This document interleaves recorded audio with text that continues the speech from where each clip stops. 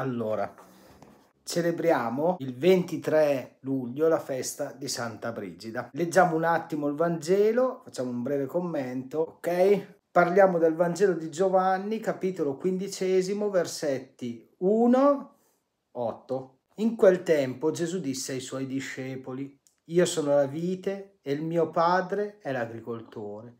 Ogni tralcio che in me non porta frutto lo taglia e ogni tralcio che porta frutto lo pota, perché porti molto più frutto. Voi siete già puri a causa della parola che vi ho annunziato. Rimanete in me io in voi, come il tralcio non può portare frutto da se stesso se non rimane nella vite, così neanche voi se non rimanete in me.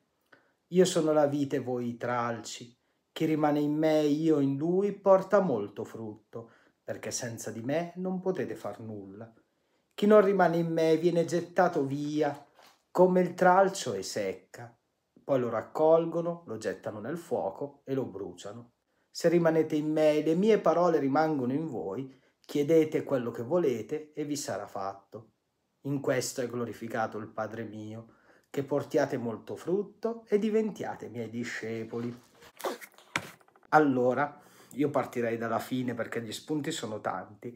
In questo è glorificato il Padre mio, dice Gesù, che portiate molto frutto, diventiate miei discepoli. Portare frutto, portare testimonianza con la propria vita. La parola di Dio si mette in atto nella nostra quotidianità, se noi nella nostra libertà accettiamo il progetto di Dio. Quindi, quando noi ci attacchiamo al nostro Signore Gesù Cristo, per grazia, giorno dopo giorno, diventiamo testimonianza perché la nostra vita cambia davvero nella nostra quotidianità. L'incontro con Dio è qualcosa di estremamente sconvolgente che rende bella la tua vita e quindi tu cambi, cambia la tua prospettiva sulle cose, sulla realtà, sulle persone. Lasciarci provocare dalla parola di Dio. Qui Gesù troviamo che parla ai suoi discepoli, tra questi discepoli ci siamo anche noi, chiaramente. Io sono la vera vite e il Padre mio è l'agricoltore. Ogni tralcio che porta frutto lo pota perché porti più frutto, ci dice Gesù. Quindi lui è la vite, l'agricoltore è il padre che attraverso l'azione dello Spirito Santo fa in modo che noi che siamo i tralci diventiamo fruttuosi. Cosa vuol dire essere fruttuosi? Vuol dire che attraverso la nostra vita doniamo agli altri la grazia che abbiamo ricevuto.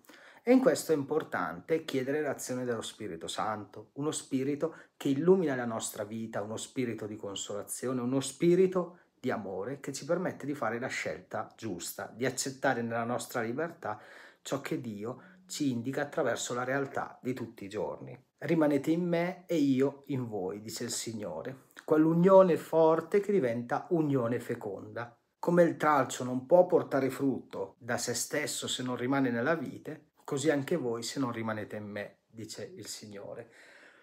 È importante sottolineare quest'unione, proprio quasi a ricordarci che da soli non possiamo fare nulla. Sì, possiamo compiere delle belle azioni come possiamo compiere delle brutte azioni.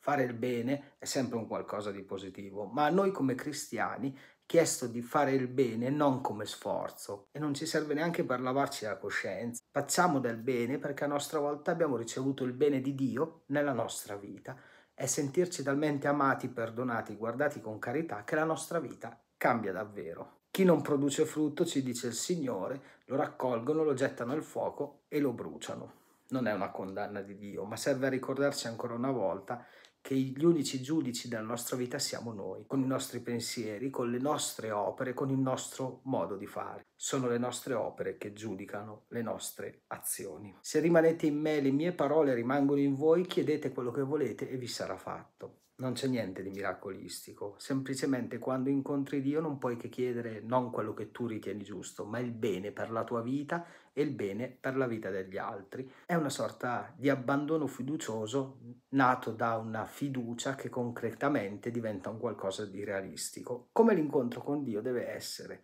una relazione che cambia il tuo cuore. Troppe cose ci sarebbero da dire, ma non voglio dilungarmi troppo come sempre.